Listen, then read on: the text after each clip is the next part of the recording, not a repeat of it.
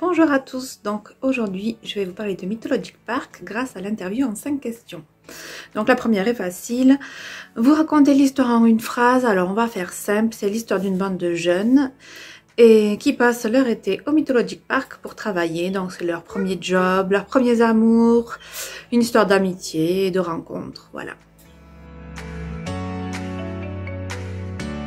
Travailler dans un parc d'attractions, euh, l'été, je l'ai passé dans une banque, donc c'est beaucoup moins fun.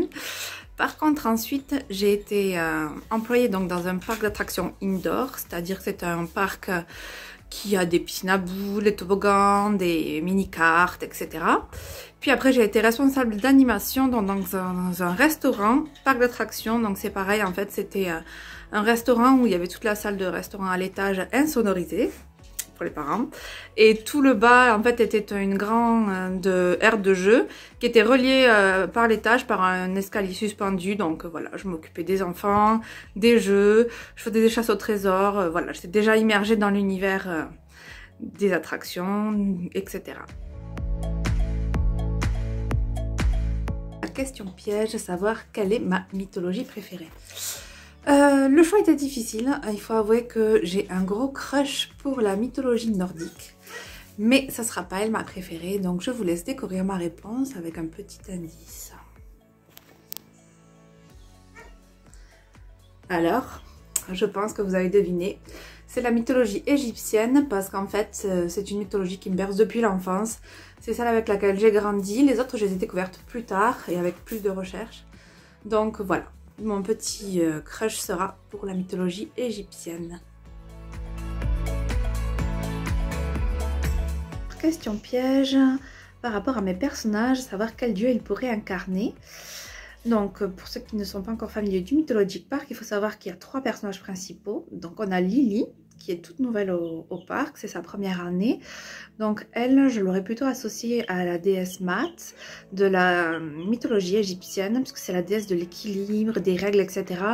Et donc quand vous apprendrez à découvrir Lily, vous verrez qu'elle commence euh, son arrivée au parc euh, en se fixant elle-même des règles qui l'empêchent de profiter vraiment de son été, de sa jeunesse, etc. Elle est vraiment très portée sur les études, le savoir. Euh, donc je pense qu'elle personnifie bien Matt, mais on verra aussi qu'elle va évoluer au fil de l'histoire. Pour euh, Justin, lui, c'est un habitué du parc, c'est pas sa première année du tout. Euh, il est beaucoup plus fougueux, passionné que, que Lini. Donc je l'ai associé à Balder de la mythologie nordique qui est le dieu de la beauté, qui est, connu pour être un dieu aimé de tous. Alors euh, oui, Justin est aimé de tous, sauf d'une personne, et c'est ce qui va faire euh, toute son histoire. Euh, ça va vraiment l'obséder et il va tout faire pour que cette personne l'apprécie justement, donc voilà. Et enfin, on va finir sur Gaëlle. Alors Gaëlle, elle aussi, c'est pas du tout sa première année au Mythologic Park, puisque elle euh, passe manager donc cette année-là.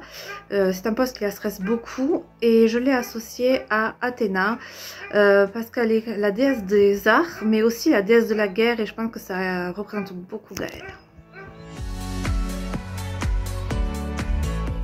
Si vous avez compris comment fonctionne le Mythologic Park, vous aurez compris que les attractions sont en rapport forcément avec la mythologie.